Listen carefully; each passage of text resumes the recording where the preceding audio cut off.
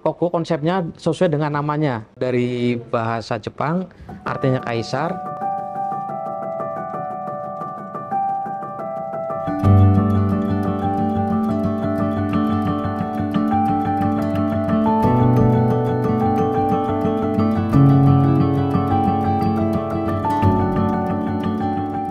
Koko ini adalah tempat refleksi keluarga. Makanya namanya Koko Family Massage and Reflexology. Dan tempatnya sudah banyak juga di Jakarta. Jadi jangan takut terlalu jauh.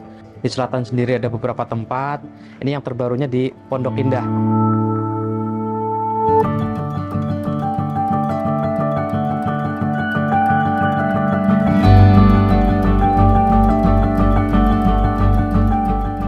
Nah, ikonnya itu akuarium, terus eh, nuansanya Jepang, terus eh, nah ini yang terbarunya ini ada taman di tengah-tengah, nanti dikelilingi untuk porsi pijat orang yang pada pijat gitu. Terus ada yang eh, pijat sambil nonton. Jadi banyak pilihan. Biasanya kalau pijat sambil nonton tuh untuk anak-anak eh, muda yang pasangan nonton sambil pijet.